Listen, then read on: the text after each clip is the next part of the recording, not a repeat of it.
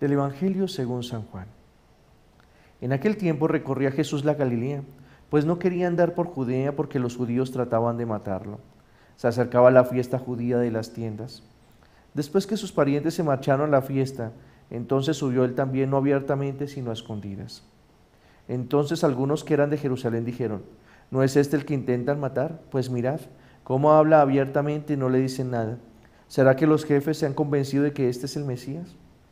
Pero este sabemos de dónde viene, mientras que el Mesías cuando llegue nadie sabrá de dónde viene. Entonces Jesús, mientras enseñaba en el templo, gritó, A mí me conocéis y conocéis de dónde vengo. Sin embargo, yo no vengo por mi cuenta, sino enviado por el que es veraz.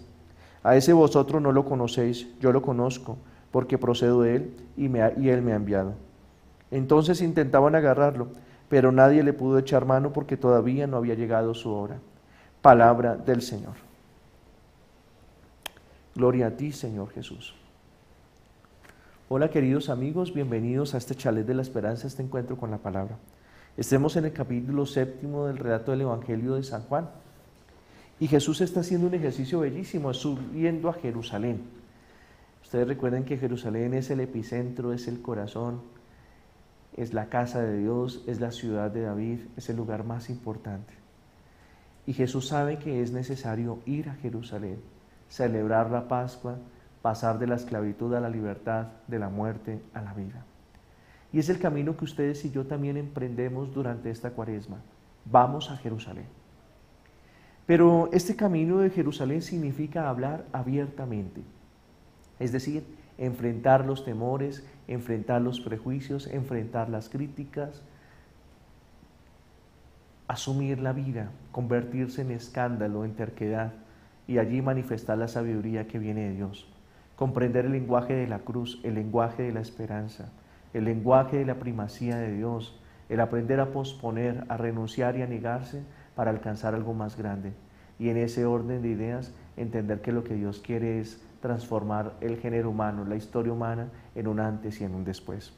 Hoy ustedes y yo somos los protagonistas de esta historia, de esta novela, de esta realidad que un día, yo, que un día uno y otro día, el Señor va mostrándonos a nosotros que se sigue repitiendo.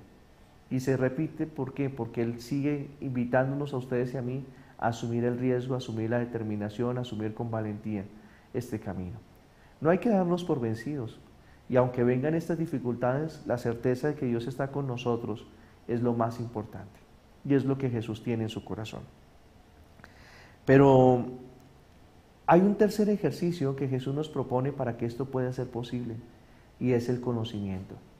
Pero no remitido simplemente a esa teoría del conocimiento científico que ustedes y yo elaboramos cuando hablamos de un camino de, de investigación, cuando hablamos de un proceso para ir a escudriñar el sentido, la razón fundamental de todas las cosas, sino hablamos de un conocimiento entendido como una experiencia vital, como un encuentro con la intimidad.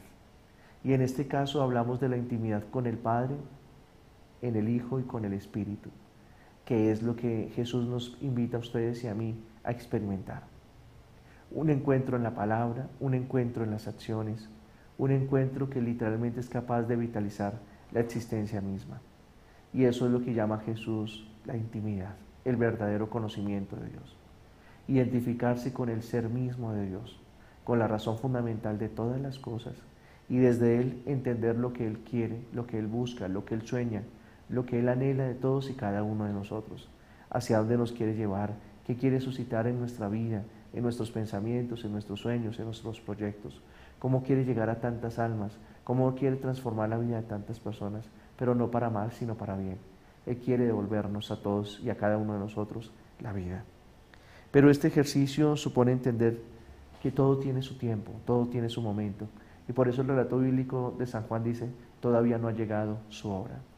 Y qué bonito entender que a ustedes y a mí también nos llegará nuestra hora, nuestro momento, nuestra realidad particular. Y cuando llegue ese momento, pues tener la valentía, la gallardía, la entereza de decir, Señor, somos siervos inútiles que hicimos lo que teníamos que hacer.